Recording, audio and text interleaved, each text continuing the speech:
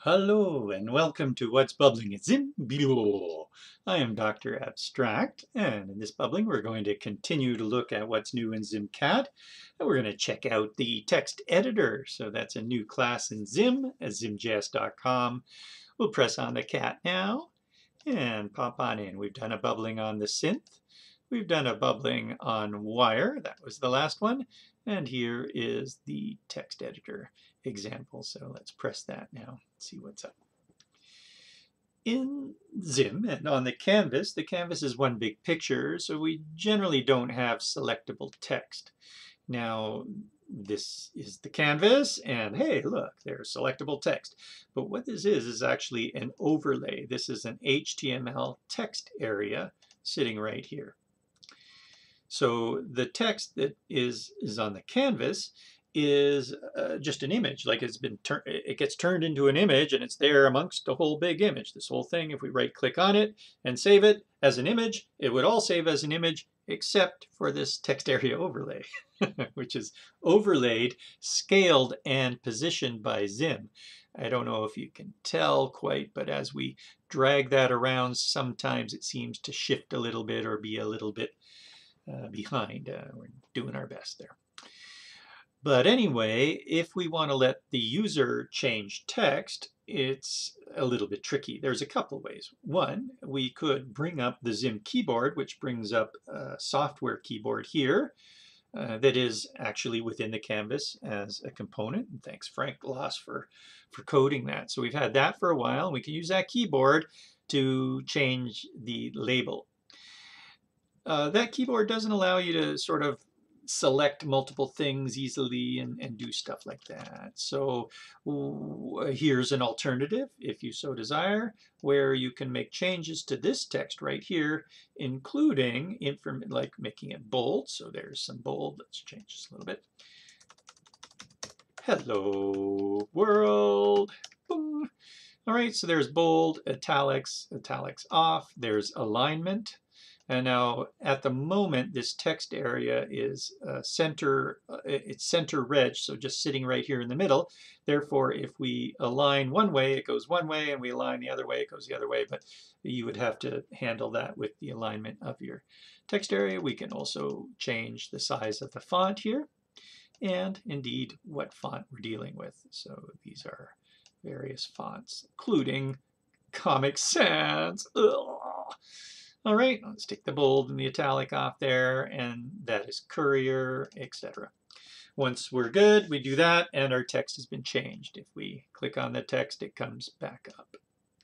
So that's the idea behind the text area. Do you like our text editor? Let's go in and take a look at some, some code there.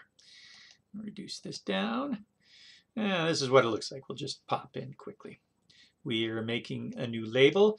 In ZimCat, we also introduced uh, these guys right here. So there's the variant, which is small caps. Okay, so we could start off as small caps, and the editor will detect this. So you basically tell the editor uh, which text is, you know, you're operating on. So here's here it is. And oh, I suppose it's when we show the, so the editor's got a, a show, and we're saying, please operate on that label right there. And this is the label. But coming in, we now have these properties. These used to be called um,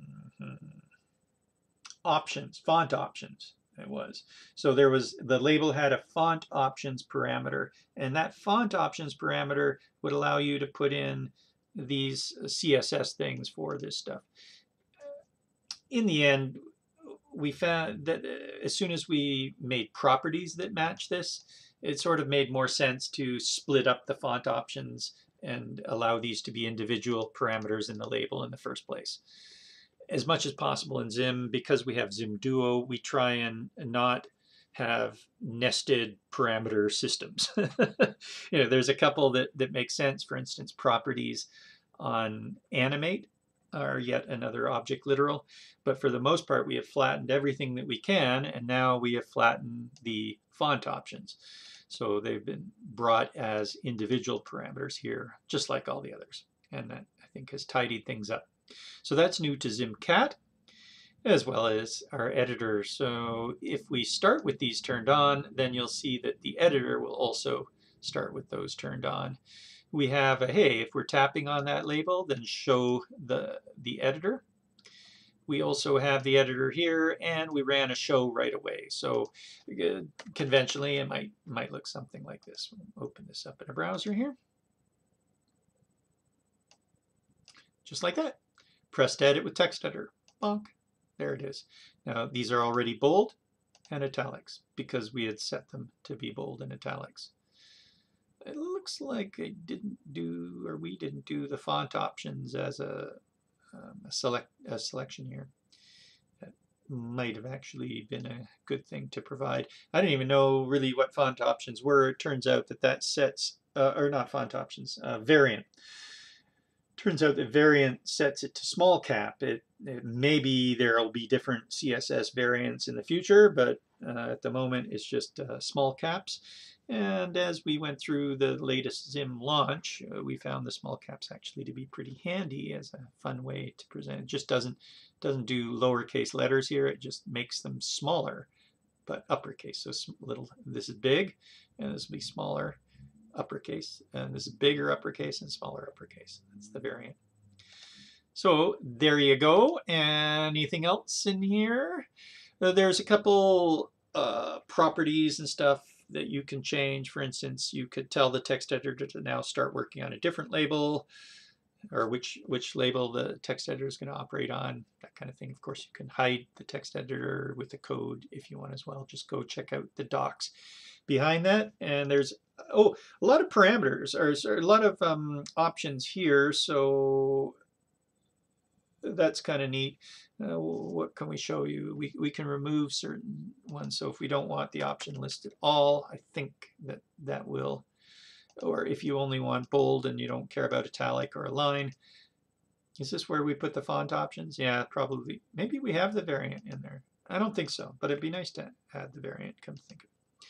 So we refresh here and I press and now you see that we're missing whatever whatever it was we were missing. If we don't want the fonts, you don't have to see the fonts. So font list true, nope. And you can put an array of your own fonts there. Uh, press. So now it's just this little guy here with no fonts. We can only change the size and the color. Color you can set it to be um, only certain colors and you'll get a specific color picker there. And if you don't want any of that, you don't, you don't need it. So if we don't want these to be true, like that, and we refresh here, boop, then it's just, hey, what does this text say? Boop, like that. Cool, huh? So that is what's bubbling at Zim. need my finger to work that if you if you ever wondered. uh, that's been what's bubbling at Zim. I am Dr. Abstract, this guy with the tattoo of nodism hierarchy on his head.